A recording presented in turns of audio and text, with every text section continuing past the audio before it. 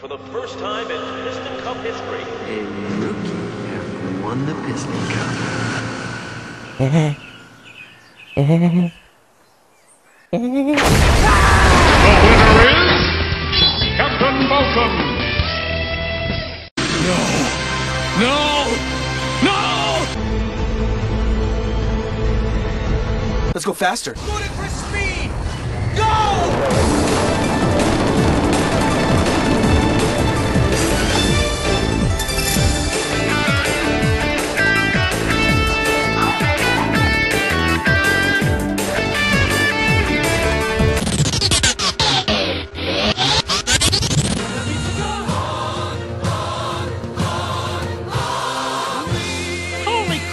My thing actually won something!